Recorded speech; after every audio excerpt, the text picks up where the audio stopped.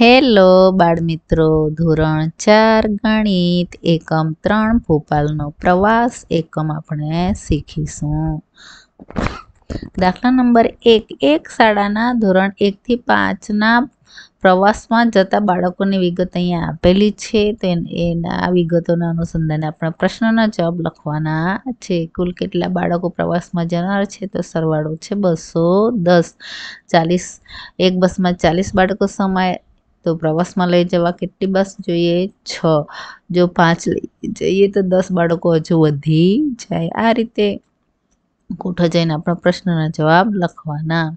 અહીં છે બીજો ક્રેન્સી જેન્સી, જય અને મોન્ટુ મેળામાં જાય છે. એમના પંદરસો રૂપિયા આપવામાં આવે છે ચારેયને.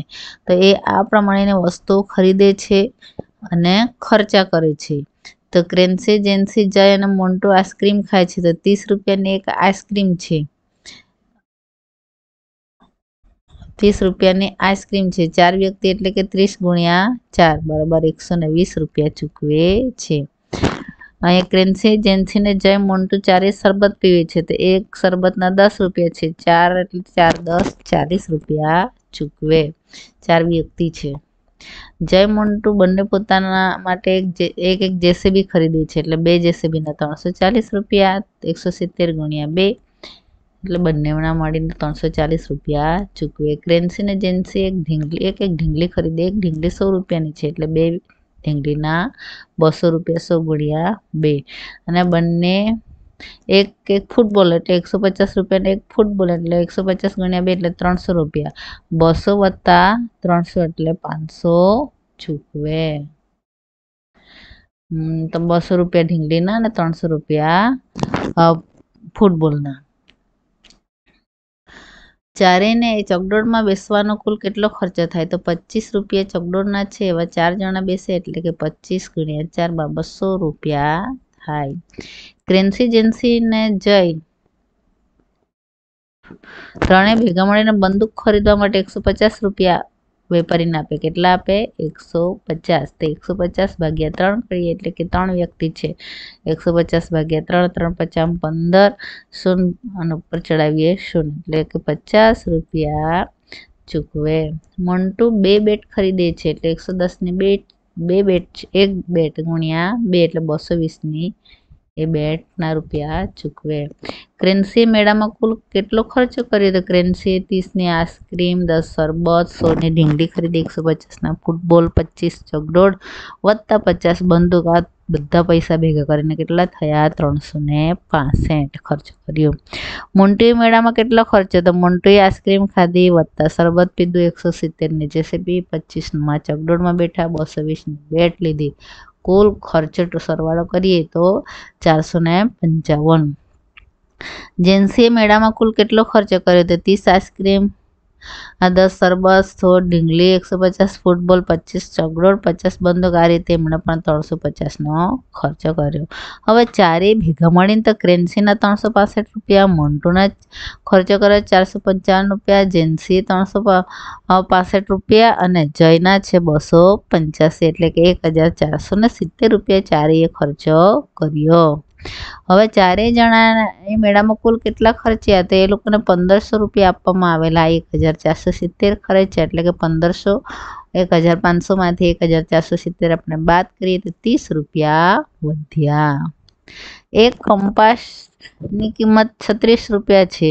તો આઠ કંપાસની કેટલી? એટલે છત્રીસ ગુણ્યા આઠ ગુણાકાર કરીએ. એક વોટર બેગની કિંમત સુડતાલીસ રૂપિયા આવી, છ વોટર બેગ એટલે સુડતાલીસ ગુણ્યા છ કરીએ, એનો પણ ગુણાકાર કરીએ. એ એક સ્કૂલ બેગની કિંમત એકસો પચીસ રૂપિયા છે, આવી સત્તર સ્કૂલ બેગની એટલે એકસો પચીસ ગુણ્યા સત્તર. એકમ દશકનો શૂન એક પાંચ બે, આ રીતે એનો ગુણાકાર કરીએ તો બે હજાર એકસો ને પચીસ રૂપિયા થાય. એક એક પુસ્તકની કિંમત એકસો બેતાલીસ રૂપિયા છે, એવા પાંચ પુસ્તકની કિંમત કેટલી? એકસો બેતાલીસ ગુણ્યા પાંચ, આ પણ ગુણાકારનો દાખલો છે. સૂચના પ્રમાણે કરો, એક મોટર કાર એક કલાકમાં પંચાવન કિમીનું અંતર કાપે છે, તો ત્રણ કલાકમાં કેટલું અંતર કાપે? એક કલાકમાં પંચાવન ત્રણ કલાકમાં કેટલો? તો કુલ એકસો ને પાસઠ, પંચાવન ગુણ્યા ત્રણ એ ગુણાકાર કરે છે, બાજુમાં પંચાવન ગુણ્યા ત્રણ. એક ટ્રેન ચાર કલાકમાં ત્રણસો સાઠ કિલોમીટર અંતર કાપે તો તે ટ્રેન એક કલાકમાં કેટલું? ત્રણસો સાઠ કિલોમીટર ચાર કલાકમાં, એટલે કે ત્રણસો સાઠ ભાગ્યા ચાર કરીએ તો નેવું કિલોમીટર દરેક પ્રતિ કલાકે એ ટ્રેન કાપે. પાણીની એક બોટલમાં સાતસો પચાસ મિલી પાણી સમાય છે. આવી ચાર બોટલમાં કુલ કેટલું પાણી સમાય? એક બોટલમાં સાતસો પચાસ, ચાર બોટલ સાતસો પચાસ ગુણ્યા ચાર એટલે કે ત્રણ હજાર મિલી અથવા ત્રણ લીટર કરીએ. આ રીતે અહીંયા ગુણાકાર છે. એક દૂધના કેનમાં નવસો મિલી દૂધ ભરાય. આ દૂધને ત્રણ નાના વાસણમાં, એટલે કે ભાગ્યા ત્રણ કરીએ, એટલે નવસો ભાગ્યા ત્રણ કરીએ, તો ત્રણસો મિલી આ ત્રણ નાના વાસણમાં દૂધ ભરાય. એ સ્કૂલ બેગ, એક સ્કૂલ બેગની કિંમત બસો રૂપિયા અને કંપાસ ના પચાસ રૂપિયા. તો જીમી બે સ્કૂલ બેગ ખરીદે. અને ચાર કંપાસ જો બે સ્કૂલના, બે સ્કૂલ બેગના ચારસો રૂપિયા બસો ગણ્યા. બે ચારસો ને પચાસ રૂપિયાના એવા ચાર કંપાસ એટલે એ પણ બસો. તો પાંચસો ગુણ્યા બે નોટ એ આપે છે. ને એક હજાર રૂપિયા થાય. જો આ ચારસો સ્કૂલ બેગના અને બસો કંપાસના એટલે કુલ ખર્ચો છસો થયો. એક હજાર ઓછા છસો. કરે તો ચારસો રૂપિયા પાછા વેપારી એમને આપે દુકાનવાળા આપે. સાહીઠ અને એંસી સુધીની સંખ્યામાં એવી કઈ સંખ્યા જે પાંચ અને સાત વડે ભાગી શકાય તો સિત્તેર સંખ્યા છે. દરે આ ગુણાકારની અંદર જે ખોટી સંખ્યા આપણે લખવાની છે. એક થેલામાં સરખા સરખા વજનની આઠ ચોપડીઓ છે, તેનું કુલ વજન બે હજાર પાંચસો પચાસ ગ્રામ છે, નવસો પચાસ ગ્રામ થેલાનું છે, તો ચોપડીનું વજન કેટલું તો ચાલો, બે હજાર પાંચસો પચાસ કુલ વજનમાંથી આપણે થેલાનું વજન બાદ બાકી કરી દઈએ, એટલે સોળસો ગ્રામ વજન બાકી રહ્યું, ચોપ, આઠ ચોપડીઓનું. એટલે સોળસો આઠ ચોપડીઓ સોળસો ભાગ્યા આઠ કરીએ, તો બસો ગ્રામ એક ચોપડીનું વજન આવે. પહેલાં થેલાનું વજન બાદ કરી દેવાનું. અહીંયા પણ ખોટા અંક પૂરવાના છે. અંકો ત્રણ, પાંચ, સાતની મદદથી બનતી ત્રણ અંકની તમામ સંખ્યાઓ અહીંયા આપણે લખવાની છે. બાળ દોસ્તો, વીડિયો જોવા બદલ ખૂબ ખૂબ આભાર. ચેનલને સબસ્ક્રાઈબ કરવા બદલ પણ ધન્યવાદ. થેન્ક યુ બાળ મિત્રો.